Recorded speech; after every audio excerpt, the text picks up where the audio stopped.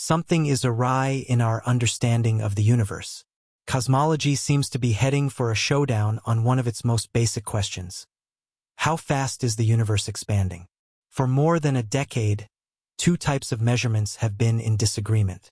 Observations of the current universe typically find the rate of expansion, called the Hubble constant, to be about 9% faster than predictions based on early universe data. Researchers hoped that the James Webb Space Telescope, the most advanced telescope ever built, would help settle the question once and for all. But consensus has so far failed to materialize.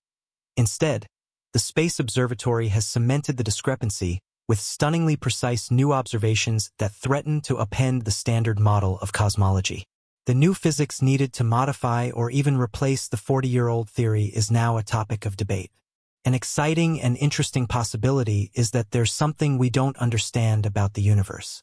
Join us as we dig deep into how new ultra-deep images from James Webb just confirmed there is something seriously wrong with our understanding of the universe. Our universe started with a bang, the Big Bang. Energy, mass, and space flashed into existence all within a fleeting instant. Then the young cosmos was formed, an expanding roiling plasma broth of matter and antimatter particles that popped into existence only to annihilate each other upon contact. Left to their own devices, the matter and antimatter inside this plasma should have consumed each other entirely. But scientists believe that some unknown imbalance enabled more matter than antimatter to be produced, saving the universe from immediate self-destruction. Gravity compressed the plasma pockets, squeezing and heating the matter so that sound waves traveling just over half the speed of light, called baryon acoustic oscillations, rippled across their surface. Meanwhile, the high energy density of the early universe's crowded contents stretched spacetime, pulling a small fraction of this matter safely from the fray. As the universe inflated like a balloon, the standard story goes that ordinary matter, which interacts with light, congealed around clumps of invisible dark matter to create the first galaxies, connected together by a vast cosmic web. Initially, as the universe's contents spread out, its energy density, and therefore its expansion rate, decreased. But then, roughly 5 billion years ago, galaxies began to recede once more at an ever faster rate. The cause was another invisible and mysterious entity known as dark energy. The simplest and most popular explanation for dark energy is that it is a cosmological constant, an inflationary energy that is the same everywhere and at every moment, woven into the stretching fabric of spacetime. Einstein named it lambda in his theory of general relativity. As our cosmos grew, its overall matter density dropped while the dark energy density remained the same, gradually making the latter the biggest contributor to its overall expansion. Added together, the energy densities of ordinary matter, dark matter, dark energy, and energy from light set the upper speed limit of the universe's expansion. They are also key ingredients in the lambda cold dark matter, LCDM, model of cosmology, which maps the growth of the cosmos and predicts its end. With matter eventually spread so thin it experiences a heat death called the Big Freeze. Many of the model's predictions have been proved to be highly accurate, but here's where the problems begin. Despite much searching, astronomers have no clue what dark matter or dark energy are.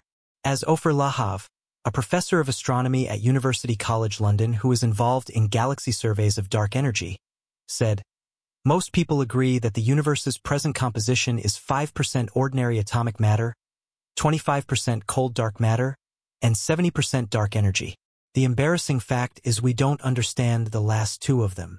But an even greater threat to the LCDM model has materialized. Depending on what method astrophysicists use, the universe appears to be growing at different rates, a disparity known as the Hubble tension. Methods that peer into the early universe show it expanding significantly faster than LCDM predicts.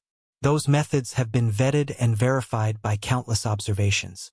Therefore, as Nobel Prize-winning astrophysicist Adam Riess, who led the team that made the new James Webb measurement, said, The only reason that I can understand at this point for them to disagree is that the model that we have between them is perhaps missing something.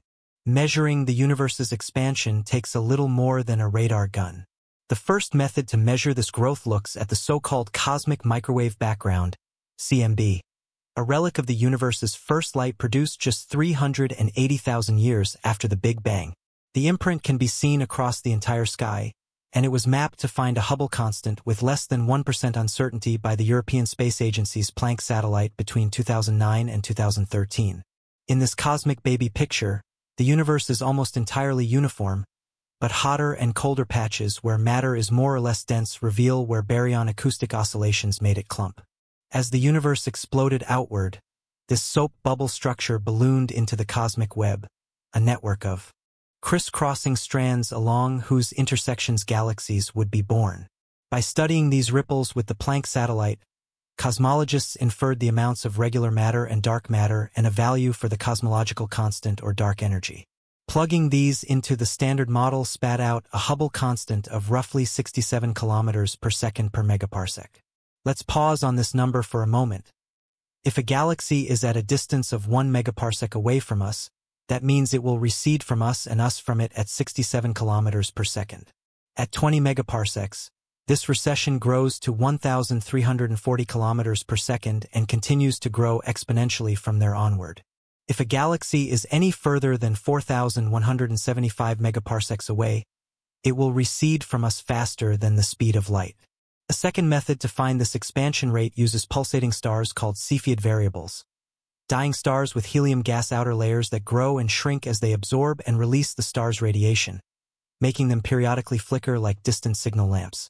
In 1912, astronomer Henrietta Swan Leavitt found that the brighter a Cepheid was, the slower it would flicker, enabling astronomers to measure a star's absolute brightness and therefore gauge its distance.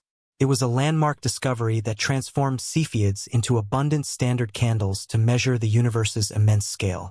By stringing observations of pulsating Cepheids together, astronomers can construct cosmic distance ladders, with each rung taking them a step back into the past.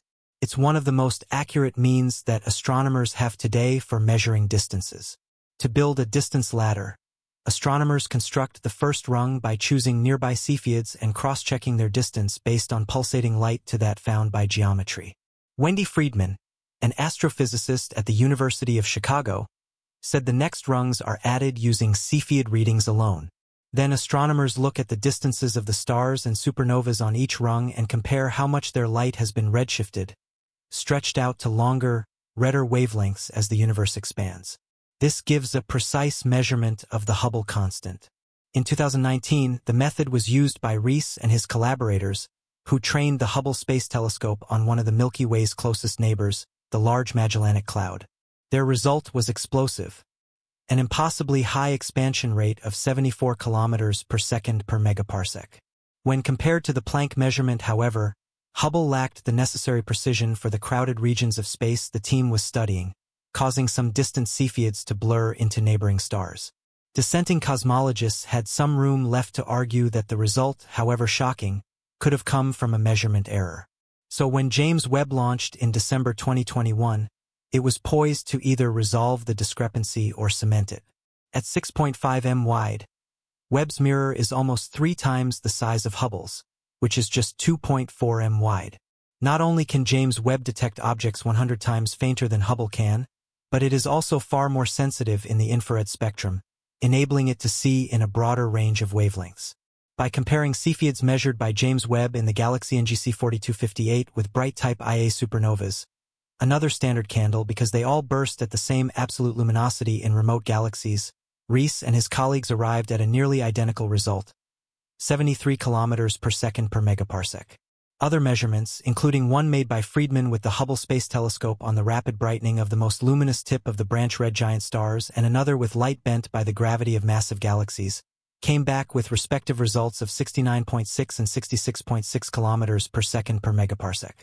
A separate result using the bending of light also gave a value of 73 kilometers per second per megaparsec. Cosmologists were left reeling. According to Ranjan Kai, a cosmologist at the University of California, Merced, who has been working to explain the Hubble tension, the CMB temperature is measured at the level of 1% precision and the Cepheid distance ladder measurement is getting close to 1%. So a difference of 7 kilometers per second, even though it's not very much, is very, very unlikely to be a random chance. There is something definite to explain.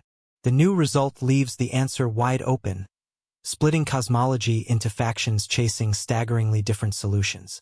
Following the Hubble Space Telescope result, an official attempt to resolve the issue at a 2019 conference at the Kavli Institute for Theoretical Physics, KITP, in California only caused more frustration. As the late Vera Rubin, who discovered evidence for dark matter, said at the time, nobody wanted to let go of their toy. All of the people involved believed so strongly in their own results and so strongly in the fact that their observations and their measurements were done correctly. It just left people wanting to figure out how do I explain this. In February 2023, with James Webb and another independent Hubble Distance Ladder result confirming the Hubble tension, cosmologists are left with three possible explanations. Measurement errors, new physics, or some combination of the two. Kai explained that most of the data supports new physics. The simplest and most popular hypothesis is that dark energy behaves differently today than it did in the early universe. If dark energy was strong at one time and then faded away, it would make the universe look smaller when we look back in time to the early universe, making the expansion rate appear faster today. There are other explanations, such as the possibility that there are two kinds of dark energy or that dark matter interacts with light, but these explanations introduce complexities that cosmologists are wary of. Without further data, dark energy and dark matter aren't the only mysteries James Webb is helping to solve. When it launched, it was tasked with looking further back in time than any telescope before it. James Webb's revolutionary new imaging technology enabled it to see galaxies formed just 300 million years after the Big Bang. However, while peering at the universe's origins, astronomers found that these primordial galaxies are far more massive and evolved than the standard model predicts. Early galaxies should have been full of young, hot stars forming at breakneck speed, but James Webb showed many of them were bursting with heavy elements from earlier generations of stars and actively building up bulging cores of supermassive black holes. James Webb's observations have intensified the debate in cosmology by providing precise data that confirms existing discrepancies and reveals unexpected details about early galaxies. Resolving the Hubble tension and understanding these early galaxies might require new physics or a significant revision of the standard cosmological model. The pursuit of these answers is one of the most exciting frontiers in modern astrophysics. The James Webb Space Telescope, JWST, has not only revolutionized our understanding of early galaxies, but has also opened new avenues for exploring fundamental questions in cosmology.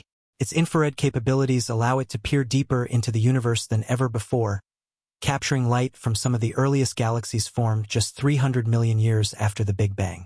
These observations have challenged the conventional wisdom about galaxy formation, suggesting that early galaxies were not just simple young structures but were surprisingly mature, containing heavy elements and harboring supermassive black holes at their cores.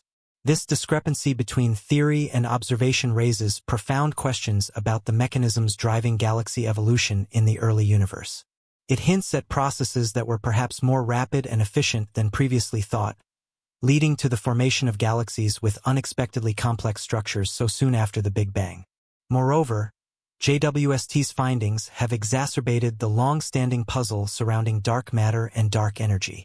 These elusive components comprising the majority of the universe's content remain poorly understood.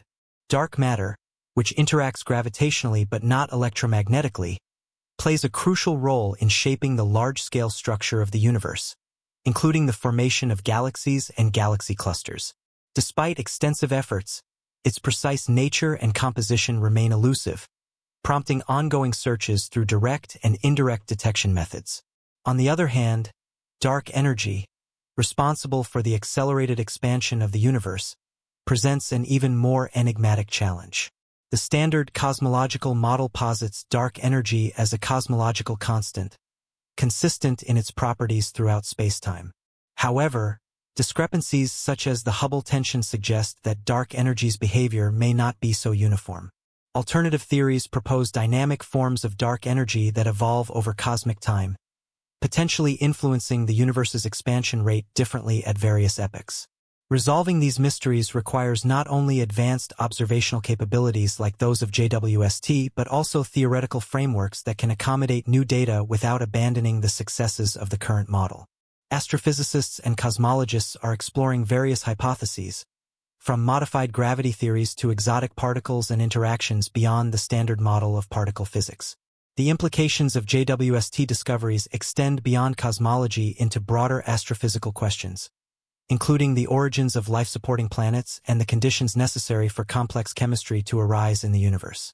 By studying distant galaxies and their environments, astronomers hope to glean insights into the conditions under which Earth-like planets may form and evolve around other stars, offering clues to the prevalence and diversity of life in the cosmos. Looking ahead, JWST promises to continue pushing the boundaries of our cosmic knowledge. Its unprecedented sensitivity and resolution will enable astronomers to study the atmospheres of exoplanets, characterize the properties of distant galaxies in exquisite detail, and probe the earliest epochs of cosmic history with unparalleled precision. These endeavors not only deepen our understanding of the universe's past, but also pave the way for transformative discoveries that could reshape our understanding of physics, astronomy, and our place in the cosmos. As JWST begins its operational phase, astronomers eagerly await new insights into the universe's most profound mysteries. Whether it's unraveling the nature of dark matter and dark energy, understanding the formation and evolution of galaxies, or exploring the potential for life beyond Earth, JWST stands poised to revolutionize our understanding of the cosmos in ways that were once unimaginable. In conclusion, the convergence of advanced technology, theoretical innovation, and rigorous observation promises an exciting era in cosmology and astrophysics. JWST's contributions are set to be pivotal, offering a clearer glimpse into the universe's earliest moments while challenging and refining our fundamental theories of its structure and evolution. As we embark on this journey of discovery, the mysteries of the universe await exploration, and JWST stands at the forefront, ready to unveil the secrets of our cosmic origins and destiny.